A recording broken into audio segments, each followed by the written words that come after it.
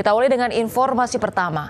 Amerika Serikat akhir pekan lalu telah meloloskan rancangan undang-undang pendanaan sementara untuk menghindari penutupan pemerintah atau government shutdown. Di mana RUU pendanaan sementara ini memberikan waktu lebih bagi Amerika Serikat setidaknya hingga 17 November 2023.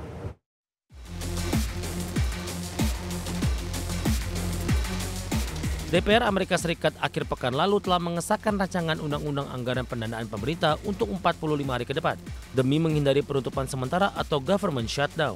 Shutdown berarti pegawai pemerintah akan dirumahkan tanpa gaji.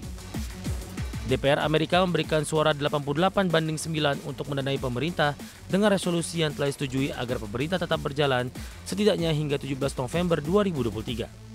Undang-undang tersebut disahkan kedua kubu DPR beberapa jam sebelum batas waktu, sebelum akhirnya ditandatangani Presiden Joe Biden pada Sabtu malam.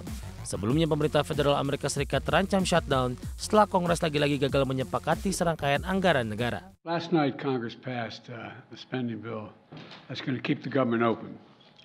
And it's good news for the American people because the government will not shut down and a needless crisis will have been averted saving millions, millions of Americans uh, needless pain. Ancaman penutupan sementara ini berakar dari penolakan RUU untuk anggaran pendanaan pemerintah yang berujung pada kebuntuan dalam DPR Amerika sendiri. Dalam Undang-Undang sementara 45 hari mencakup bantuan pendanaan bencana, namun tidak mencakup bantuan luar negeri Amerika untuk Ukraina. Selama beberapa hari terakhir, warga Amerika hingga investor global telah mengamati Washington dengan cermat resiko penutupan pemerintah Amerika.